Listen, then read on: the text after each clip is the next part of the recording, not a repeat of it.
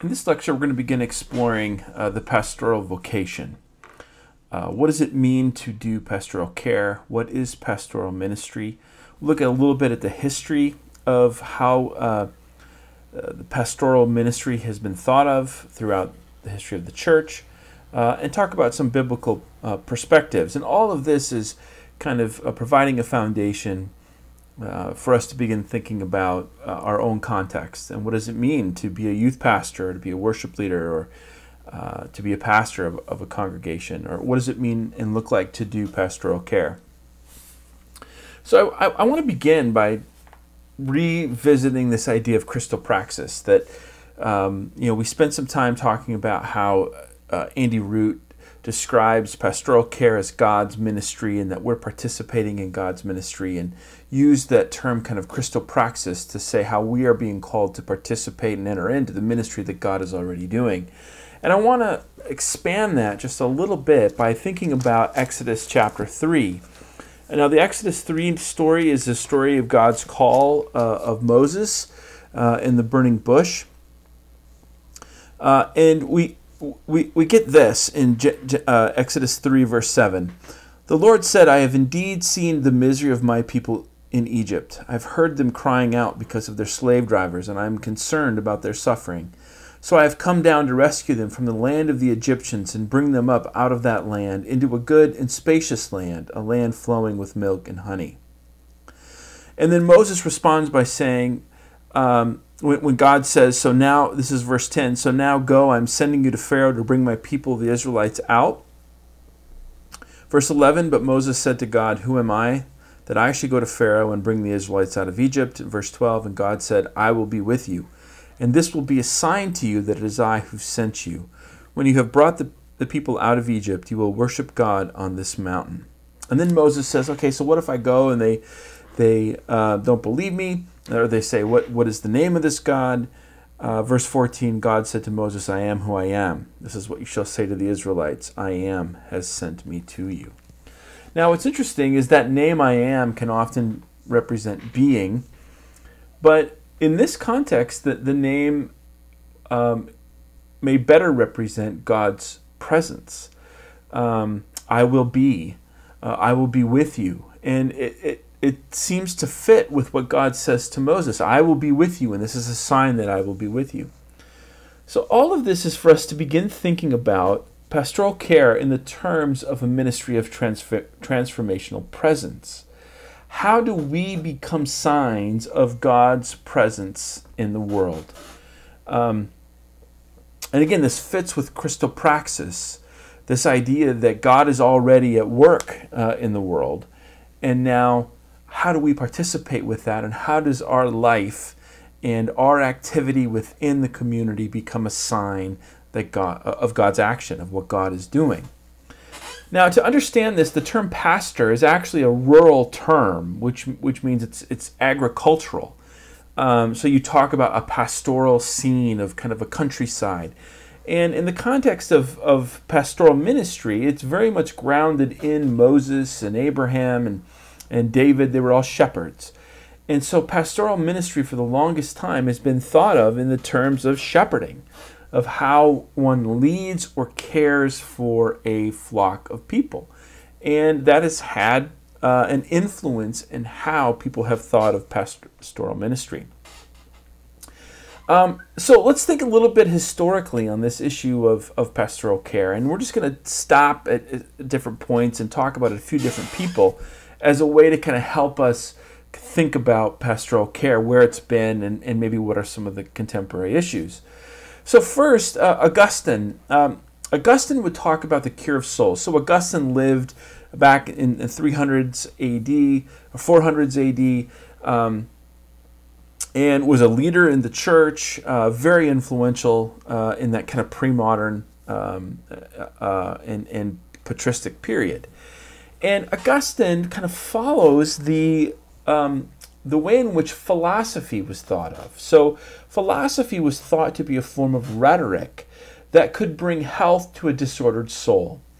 So um, Augustine especially would talk about being rightly or wrongly directed. Where is our desires directed. And in philosophy, it was where is our reason and wisdom directed towards towards what? Towards things that are eternal and can sustain us, or things that are fleeting.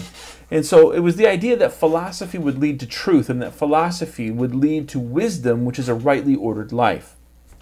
And so Augustine takes this over into the church and, and gives this sense of the rhetoric of God's word that God speaks a word that brings order from chaos. So think about Genesis. Genesis 1, God speaks and brings light from dark, order from chaos. And in the same way, the word that is spoken in Jesus Christ is a word that brings salvation, that brings healing. And that healing is a rhetoric. It's it's helping us direct our, our love to God, which then rightly orders our lives, which in a sense brings redemption or salvation and transformation. And in this way, Augustine believed that the church was a hospital for the sick. Uh, and, and through our worship, through liturgy and the sacraments and prayer, these were all God's word that transformed us and, and changed us and guided us into truth. Uh, and so, therefore, pastoral care was, was very much seen as being a part of the church and as a part of bringing people into the practices of the church through liturgy, sacraments, and, and the preaching of the word. Gregory the Great comes um, kind of uh, just as Rome is falling, and he writes this book on pastoral care. He's, he's, he's a pope, and he writes this, this book on pastoral care where he uses and picks up on this physician language and this shepherd imagery, and argues that a pastor needs to be someone who is is has their feet in two worlds. One is the world of contemplation, and so he would talk about drinking the clearest water of truth that that a pastor needs to be grounded in scripture and prayer and worship and silence and meditation all of these practices that we would associate with the monastic life to a certain degree but then has to have another foot kind of grounded in the life of the world, in the life of the congregation and the people to whom this person is ministering. Um, now, Gregory's very clear that we have to be careful that we don't have a divided mind, so that the pastor needs to make sure that they're focused on the right things, so that their desires and, and uh, their wisdom is grounded in God and is nurtured by scripture and prayer and these practices. Uh, but again, that life of contemplation needs to then play itself out in the way that they love their flock. Um, that the pastor must love the supreme shepherd, who is Christ, and in doing so, then will love their flock that in the same way that Christ loves the church, the pastor will then love the people of the church. And, and so the life of the pastor is really a life of love and action. It, it is, in some ways, a life of contemplation, being grounded in these practices, but it is definitely a life of action. Uh, but again, you can see that pastoral care takes place within the church uh, as, as, as the community, and it's done by the pastor.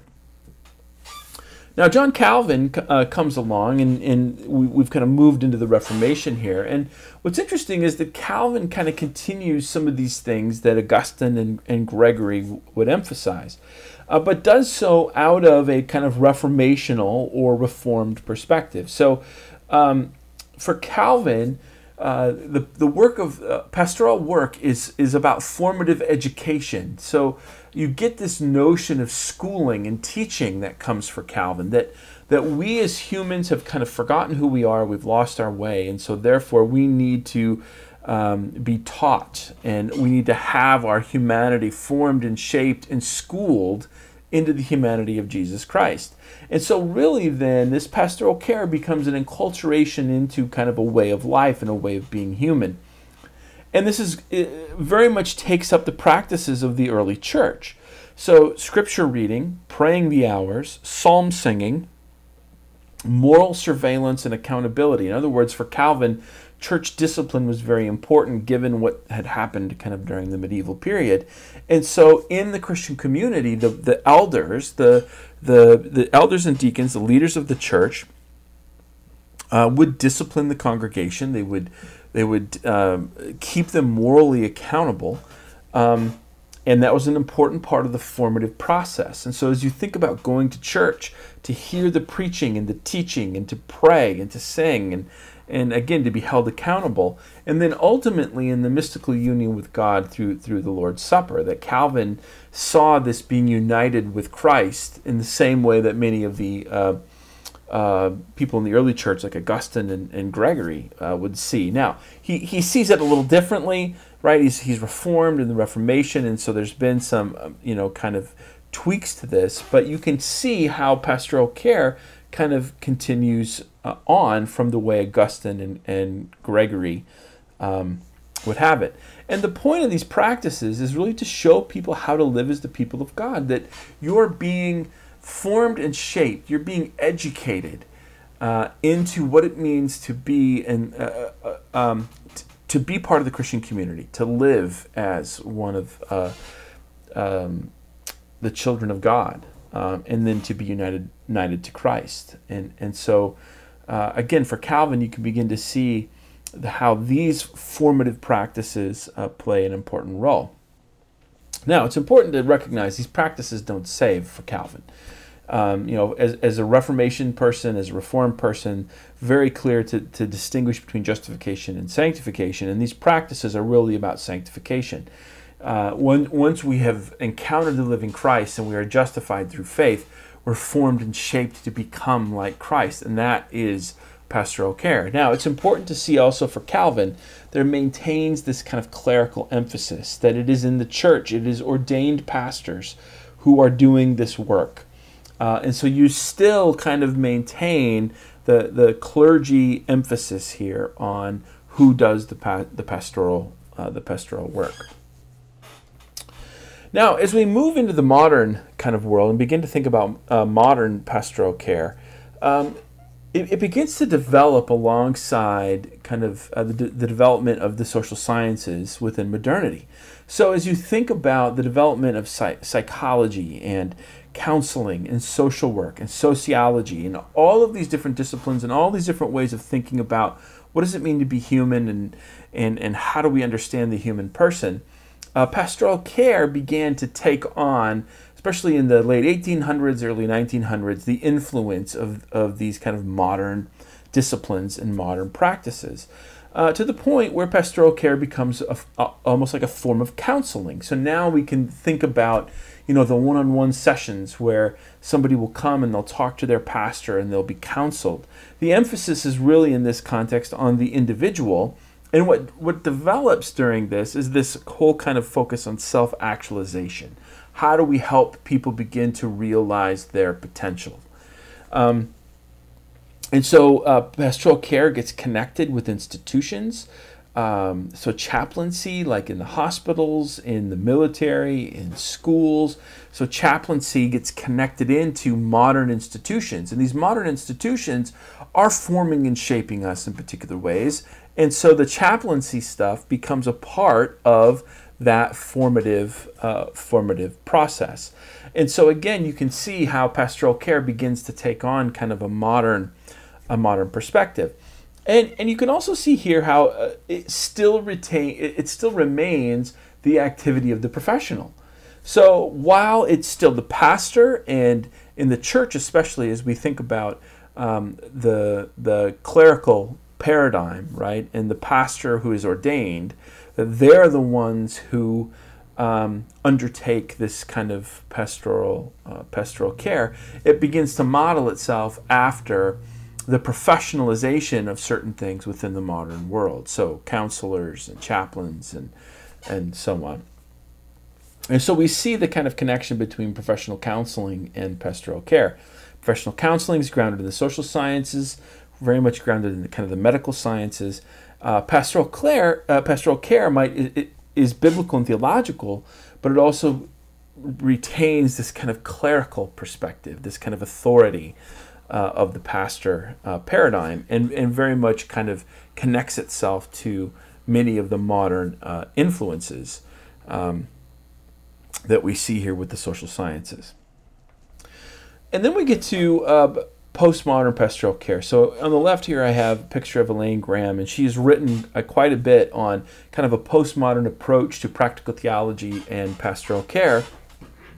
And what ends up happening here is a uh, a shift away from kind of the modern stuff. Um, you know, if we think about modernity and we think about reason and and uh, institutions uh, and professionalization and bureaucracy, um, postmodernity begins to pull, uh, basically ask questions about this.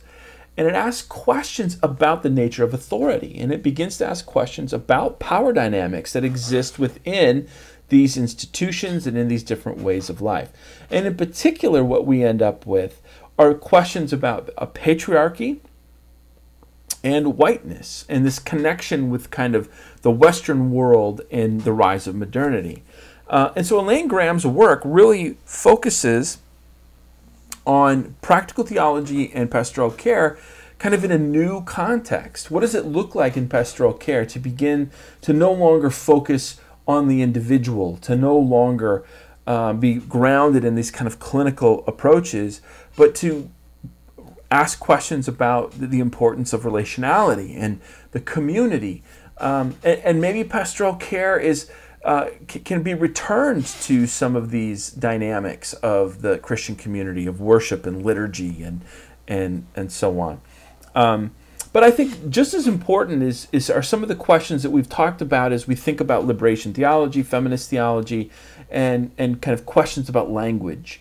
And to, to really begin to pull at the power dynamics of language and the power dynamics established within a particular culture uh, as a way to do pastoral care. That pastoral care isn't just now about the individual, but now pastoral care is concerned about the broader social and cultural dynamics.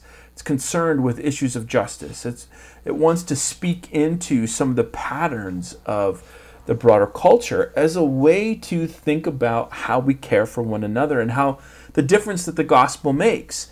And, and so now the gospel is in, in, in, Christian faith is coming into conversation with all of these these um, kind of different uh, aspects of the social and, and, cultural life. Now, another way to think about this are boundaries and horizons. So, you know, she she kind of unpacks this a little bit by saying, look, we're often kind of bound by the limitations of our own perspective. We think, well, this is how the world is, and this is how the world should be. And we need something to kind of come in and begin to ask questions about that. And then the horizons are that which is beyond the world that we know. That what is that mystery? What is that otherness? What is how do we transcend the world as we've come to know it and open ourselves up to new possibilities? What awaits kind of our discovery? And, and this is where we can speak of new creation and and eschatology and newness. And so she does all of this in the context of the gospel, in the context of the death and the resurrection of Jesus Christ. How does the cross break open these limits and these boundaries within which we live? And the resurrection open up the, the possibility of, of uh, breakthrough to new horizons and, and new discoveries and new understandings of what it means to be a human person. And so it's important to see that this is all done through dialogue, that the emphasis here is on language and narrative and symbols and, and the language of a particular community. And what does it look like for um, people who are, are providing pastoral care to begin to help people recognize their place within a community and to begin to ask questions about the stories and narratives and symbols of the community. And that this pastoral care takes place within the context of a community. It's no longer just this kind of one on one how do we help an individual reach self actualization? It's how do we rec- recognize our relatedness and how do we come to understand our relatedness in ways that can lead to flourishing, in ways that can lead to uh, lead to healing. So we also get here um, in this postmodern context is a move away from a clerical paradigm. Who gets to do the pastoral care? Well, increasingly, there's a recognition that it's not just the experts. It's not just the the pastors um, that provide care. We provide care for one another. So again, that communal emphasis. What does it look like to be a community of mutual care and concern? Um, what does it mean uh, for us to tend to one another's stories and narratives uh, and kind of walk alongside one another. And then what's the role of the pastor in this? Um, what, what is what is the role of, of the pastor begin to look like uh, in this context?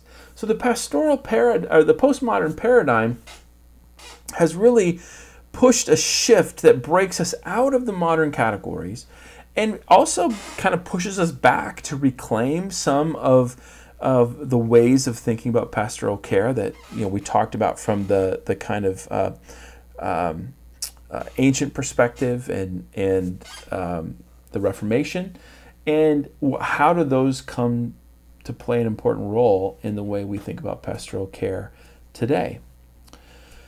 One of the things that we're going to spend some time on now as we think about pastoral care and as we move into some of the next lectures is to think about uh, narrative and story and how narrative and story play a role in helping us form and shape identity. And thinking about how our identity is shaped by language, by the family stories we inhabit, by the systems that we inhabit and, and to begin to think about institutions as communities that form and shape us with particular ways of speaking.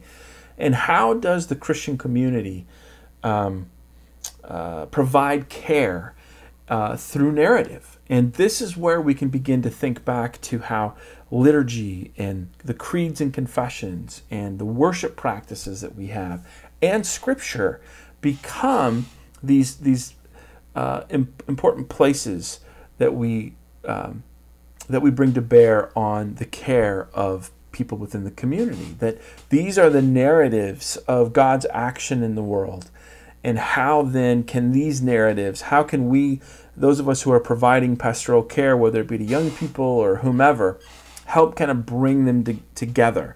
To bring their narratives together with the, the biblical uh, narrative of God's action in the world. Now, again, as we think about the hermeneutics of pastoral care, um, we're thinking about interpretation. And so eventually we're going to begin talking about, you know, what it means for us to be uh, kind of living in this in between, where we stand in between the narrative of the, commu- the, the community and the individual, and how are we bringing people together? How are we helping people interpret their experiences within the context of the broader community and the broader tradition and in God's action in the world? And so a lot of this is about interpretation. In that, and in that way, pastoral care has this hermeneutical aspect to it that we have to interpret events. We have to look at the meaning of, of events and think in terms of language and metaphor and kind of the systems of meaning that develop. How do we cultivate a sense of listening and understanding one another, where we're trying to, to create a sense of empathy? And and doing so in a way that brings meaningful action where we're, we're trying to help kind of bring god's revelation in jesus christ to bear upon the world that people are inhabiting. So as we think about worlds it's important to think about the boundaries that we construct the worlds that we construct and yet we want those worlds to be blown open by the world of god's revelation this world disclosure that um, that God is at work and that we have to have eyes to see and ears to hear, and that pastoral care is about helping people open themselves to be able to see God at work and to be able to, to see that past that horizon to what is coming, to that new creation, to the hope that God is at work bringing transformation. And that is the eschatological foundation of pastoral action. What do I mean by eschatology? Eschatology speaks to the, the newness, the future that where God is bringing us. And when we think about the death and resurrection of Jesus Christ, it becomes this interpretive key for us. That the resurrection is about eschatology, that the resurrection is about new life, and that we, as people who are uh, bringing um, or, or doing pastoral ministry and give, providing pastoral care, we become signs and symbols of uh, resurrection, that we live into the lives of others, testifying to the, to um, you know the ministry of God in Jesus through death and resurrection that brings newness, uh, so that people can begin to redefine their lives, re-narrate their lives, uh, and re-narrate things that have happened to them uh, in their own life. Um, uh, in the context of the death and resurrection of Jesus Christ. And this then becomes the foundation of hope. that uh, God is at work making all things new. God is at work bringing transformation. Um, and that we are walking alongside people, uh, trying to help open them so that they can be open their eyes so that they can begin to see how God is at work. And this is what it means to do pastoral care, to st- to do the in between. We we stand in between God's will and human need. We stand in between the church and the world, the biblical story and individual stories. We stand in between hope and faith and doubt and suffering. And what we're going to end up doing is what Root is going to call place sharing. We're inhabiting the in between spaces. We enter into the lives of people. We enter in and we listen. We enter into their narratives. We enter into their pain and their suffering. And we do so in the context of the narrative of God's action in Jesus Christ constantly seeking to, to point people to the gospel and point people to what God is already doing in their lives so that their eyes might be open, so they might come to see their identity differently, and that they might come to live into the new creation, um, the new humanity that, that, that God has revealed uh, in the person of Jesus Christ.